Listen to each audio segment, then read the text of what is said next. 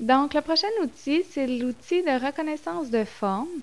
Donc, c'est un outil qui nous permet de dessiner, par exemple, à main levée, un cercle avec le stylo, un triangle avec le stylo, et notre logiciel va reconnaître la forme. Donc, que ce soit un cercle, un triangle, donc va la faire de façon parfaite, si on peut dire, euh, avec le logiciel. Donc, pour la reconnaissance de forme, il s'agit d'aller chercher mon outil.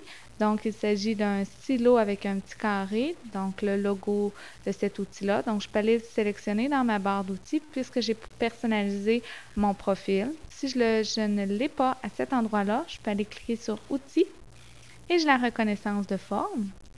Ou sinon, un autre endroit, je peux aller chercher dans Outils ici reconnaissance de forme. Donc, encore une fois, je dois lui dire au préalable que je veux euh, qu'une fois avoir dessiné mon cercle ou mon triangle, je veux que vous reconnaissiez qu'il s'agit d'un cercle ou d'un triangle. Donc, je dois lui dire au préalable que je suis en reconnaissance de forme. Donc, je vais tracer ici un triangle. Et euh, il a reconnu, donc en dessinant des lignes droites, un triangle. Je vais dessiner ici un cercle. Et il a reconnu ici qu'il s'agissait plutôt d'un ovale. Donc, je vais dessiner un cercle ici. Donc, il a dessiné, il a reconnu un cercle. Donc, c'est vraiment un outil qui reconnaît les différentes formes qu'on dessine. Donc, finalement, je pourrais même dessiner un rectangle.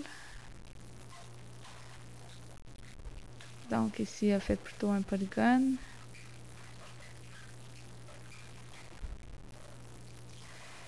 Donc, c'est vraiment en dessinant des lignes droites.